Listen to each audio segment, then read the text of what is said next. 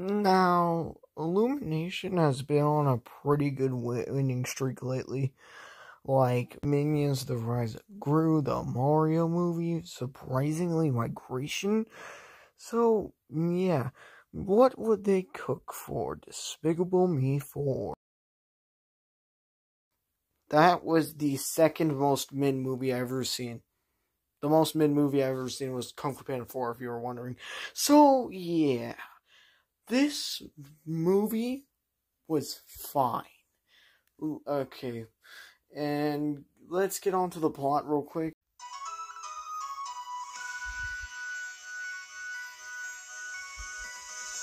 During Gru's high school days, there was this talent show going on, and this person, because he's French, I would like to call him Zeta Roach, was, was going to do a talent or something, and then Gru took it. Now he wants revenge ever since. Fast forward some years later, he arrests Zeta Roach in front of so many people, and then he threatened to kill Gru and dox his information. Okay, obviously that's false. So then Gru has to live a double life, and so then there's like this side plot with this ginger that um does a heist with Gru to get a honey badger, and if he doesn't, then he will expose the entire world who he really is. Oh God. So then they steal honey badger from Gru's Gru's um old school.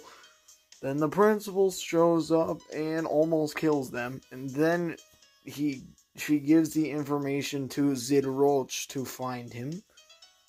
And then, yeah, things happen. Climax, like the shortest climax I've ever seen in a movie, happens.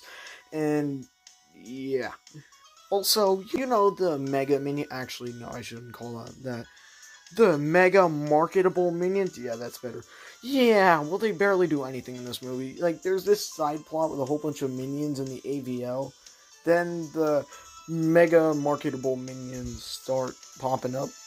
They don't do anything. They just like uh, pummel the roach and like Zid Roach in like the last couple minutes.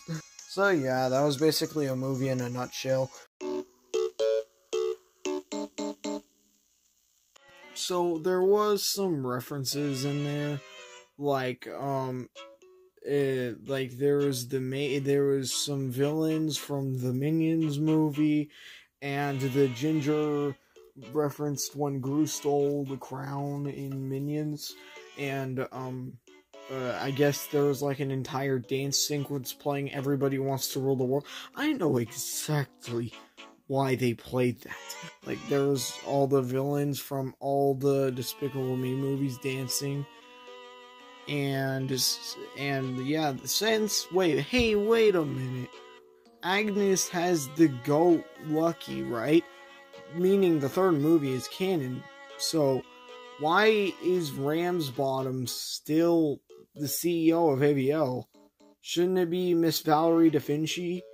You know, from the third movie? I- isn't she supposed to be the CEO now?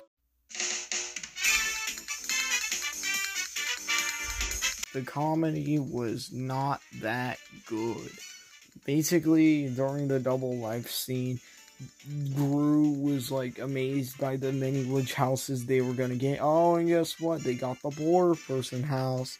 Yeah, that's totally not predictable. That never happened in any other movie at all. It definitely didn't happen in Inside Out, which the sequel was coming out like just as that movie was released. Yeah, they were totally not copying Inside Out with the humor there. Then there are these scenes with the baby, like, not loving Gru.